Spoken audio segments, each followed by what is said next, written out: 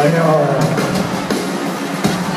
They're telling us it's the biggest crowd all, all, uh, all fair, man. That's pretty cool. That is, uh, that deserves a hell yeah, man. I tell you, that's good.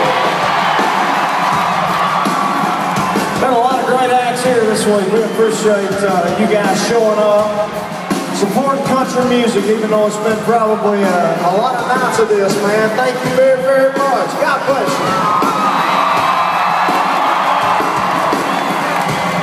Here's the deal. We didn't come with a bad bedtime tonight. It's Saturday night, which means it's time to party. Well, I will just stay here all night, man. We are.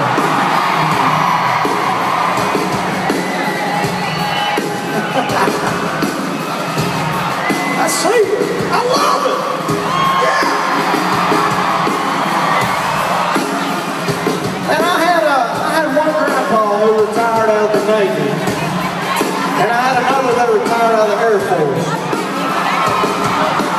And they instilled in me the importance of the men and women that we have fighting in our military and sacrificing so much on a daily basis so that we can do this kind of thing right here anytime we want to. We always like to uh, take a quick second to say a huge thank you to our veterans.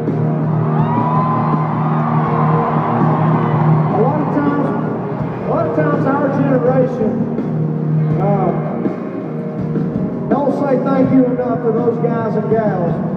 Uh, but uh, for the six of us up here on stage, I want to say thank you very, very much. We appreciate you and we love you for it.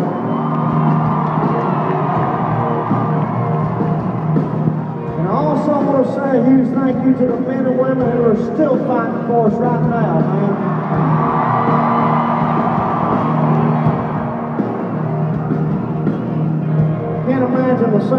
You guys make on a daily basis, but I love you for.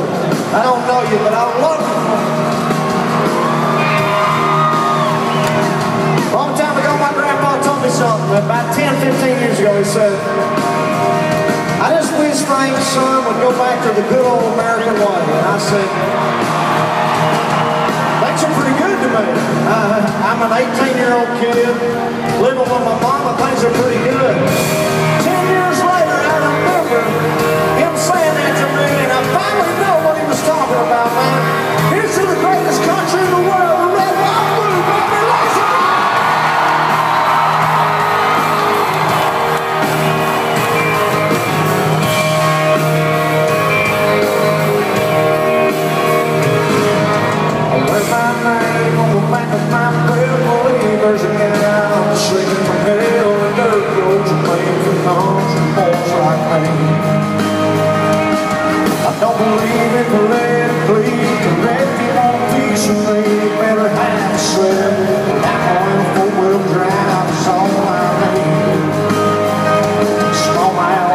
Gracias.